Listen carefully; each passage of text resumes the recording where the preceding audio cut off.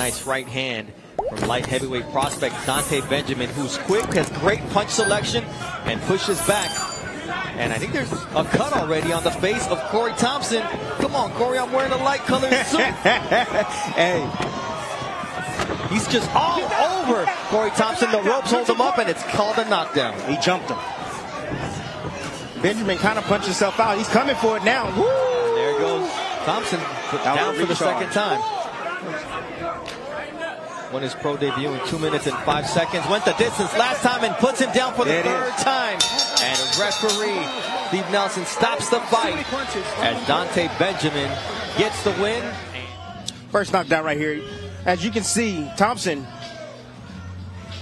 deferring to that no man's land position, leaning on his back foot to the right, got hit right on the temple. And you see the follow-up shots right here. And the reason why the referee called that a knockdown was because the ropes was there. If the ropes weren't there, then Thompson would have been down. The second knockdown, you see Benjamin right now trying to locate the head. He's throwing combinations. He finally locates it nice flurry, straight punches right down the middle. Catching Thompson. And here's the end right here.